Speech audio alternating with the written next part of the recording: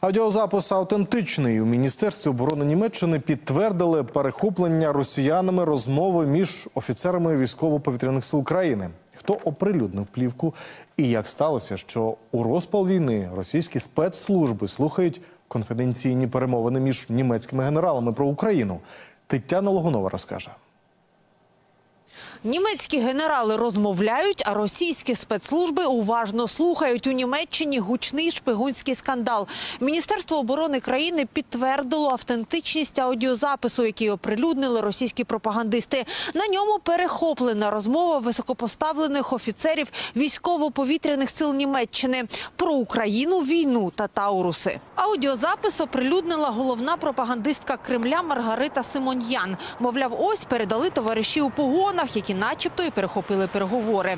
На плівці розмовляють четверо інспектор військово-повітряних сил Німеччини, генерал-лейтенант Інго Герхардс, керівник відділу операцій та навчань бригадний генерал Франк Грефе та співробітники центру повітряних операцій космічного командування Фенське та Фроштетте. Офіцери готують довідку для міністра оборони Німеччини і говорять про теоретичне передавання Україні далекобійних крилатих таурусів. А саме скільки ракет може дати Бундесвер, де проводити навчання українських фахівців і по яких цілях теоретично можуть вдарити українці.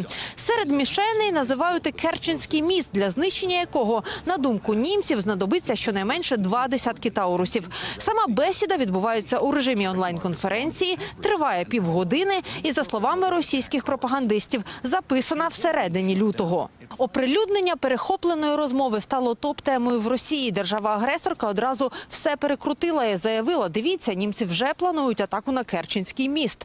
На перших шпальтах ця тема і в німецьких змі. Щоправда, акцент зовсім інший. Німці хочуть знати, як так сталося, що російські спецслужби без проблем прослуховують німецьких генералів.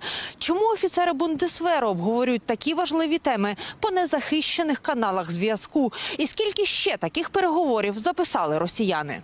Скандал уже прокоментував канцлер Німеччини з Італії, де він нині перебуває з візитом. Олаф Шольц пообіцяв розібратися і посилити боротьбу зі шпигунством.